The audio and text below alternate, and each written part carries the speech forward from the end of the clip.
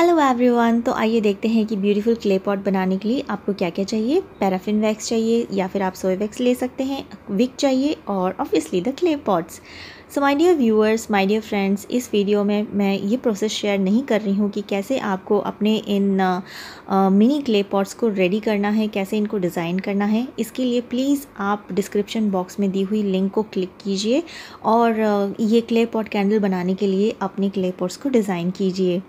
मैंने यहाँ पे एक पॉट्स का साइज़ जो है वो मिनी रखा है। आप इसका साइज़ अपनी सुविधा अनुसार कोई भी रख सकते हैं।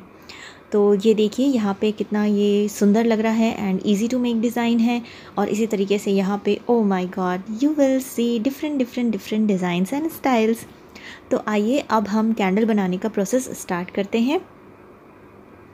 तो देखिए, यहाँ पे जब ये सारे कलर आपके जो ड्राई हो जाएँगे, उसके बाद में फिर हम ये प्रोसेस स्टार्ट करेंगे। आप सारी चीज़ें एक जगह इकट्ठी कर लीजिए। कैंडल विक चाहिए, आपको इस तरह की स्टिक चाहिए।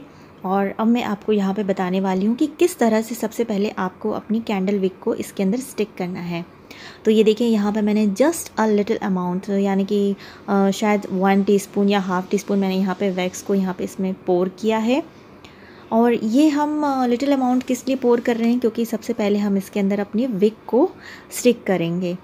तो ये देखिए, अब हम इसको थोड़ा सा सेट होने के लिए रख देंगे और जब ये सेट हो जाएगा, तब हम बाकी की प्रोसेस करेंगे। जैसे ये मैंने यहाँ पे पहले पोर कर दिया था, इसमें स्टिक कर दिया था तो अब देखिए अंदर वैक्स इसमें ड्राई हो गया है सेट हो गया है।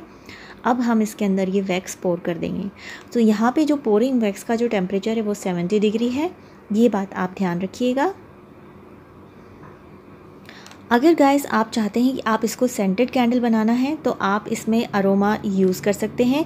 ध्यान रखिएगा आप जो भी सेंट यूज़ करें वो ऑयल बेस्ड होना चाहिए। Because my client don't want scented candle तो मैं यहाँ पे सेंट यूज़ नहीं कर रही हूँ।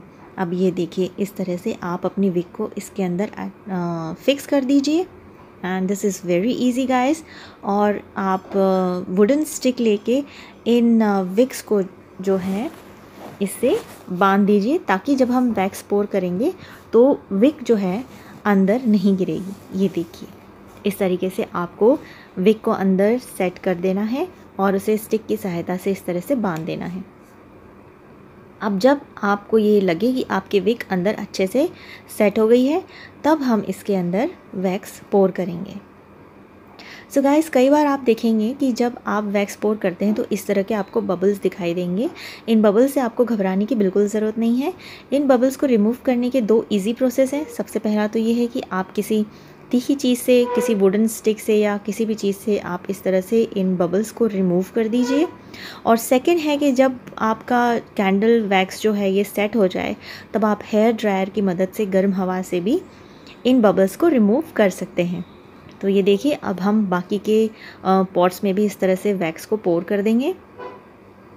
अब जैसा कि आप देख रहे हैं, यहाँ पे बबल्स ज़्यादा आ रहे हैं। इसका मतलब ये है कि यहाँ जो वैक्स का जो टेम्परेचर है, वो 70 डिग्री से और ज़्यादा डाउन हो गया है। But it doesn't matter guys, हम बाद में इन बबल्स को रिमूव कर ही देंगे। तो ये देखिए, सारे जब हम कैंडल्स में, सारे पॉट्स में जब हम वैक्स को पोर कर देंगे, उसके बाद में फिर हम इन्हें सेट होने के लिए रख देंगे। बेटर है कि आप इन्हें कम से कम ओवरनाइट या फिर it takes almost about twenty four hours to get set completely अब यहाँ पे आप इनको इस तरह से कुछ डिफरेंट कलर बीड्स या स्टोन से आप इनको डेकोरेट भी कर सकते हैं। तो ये देखिए कितनी सुंदर लग रही है मटकी गाइस और इस तरह से बनाइए और इस दिवाली, इस त्यौहार, अपने मिलने वालों को, अपने फ्रेंड्स को, अपनी फैमिली को ये गिफ्ट कीजिए, अपने घर को डेकोरेट कीजिए। It looks amazingly beautiful guys अगर आपको मेरा वीडियो पसंद आया है तो प्लीज़ इसे लाइक कीजिए शेयर कीजिए सब्सक्राइब कीजिए। और मेरे बाकी के वीडियोज़ देखना मत भूलिए। Bye bye